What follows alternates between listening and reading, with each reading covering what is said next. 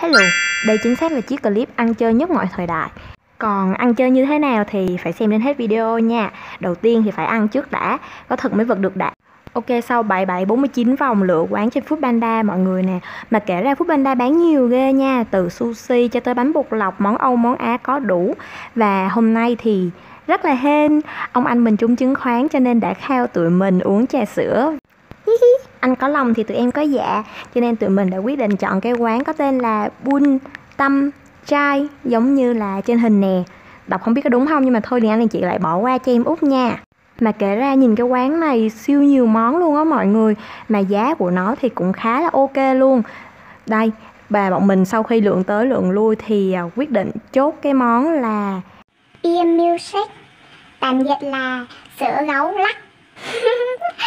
Giỡn chứ. Đây nè mọi người Mình sẽ gọi cái ly nhỏ Và gọi thêm chân châu đen cùng với cherry Và ngọt 100% À mọi người nhớ follow mình Và, và cũng như là subscribe channel youtube của mình Với tên là Mimarin này nha Để xem nhiều hơn về cuộc sống cuộc sống của mình Cũng như là cuộc sống ở Lào. Ok quay lại order thì tụi mình đã gọi tổng cộng là 6 ly.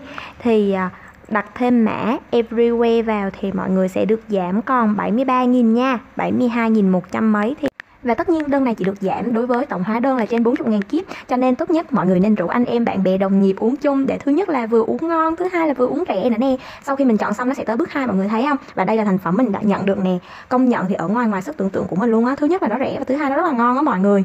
Bé em đồng nghiệp còn kêu là thôi lần sau uống quán này luôn đi. Thế nói con bé này còn mới nới cũ giảm hen luôn.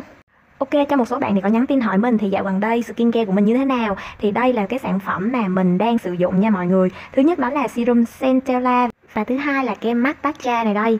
Thiệt ra thì trước tới nay mình không có xài quá nhiều mỹ phẩm đâu mọi người Chỉ có dạo gần đây da mình bị mụn dữ quá cho nên mình buộc phải xài. Thì đây là serum chiết xuất từ rau má Nó có tác dụng là thúc đẩy sản sinh collagen cho da á mọi cá nhân mình thấy thì tác dụng của nó sẽ không nhanh như ordinary đâu, nhưng mà nó sẽ tác dụng từ từ, có nghĩa là tầm sau 3 tuần mọi người sẽ thấy có tác dụng ở trên da nha, chứ không phải là tác dụng liền như the ordinary.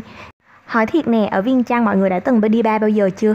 Đây chính xác là cái clip mà mình quay lại cách đây một năm rồi đó mọi kể ra thì viên trăng cũng náo nhiệt chứ bộ.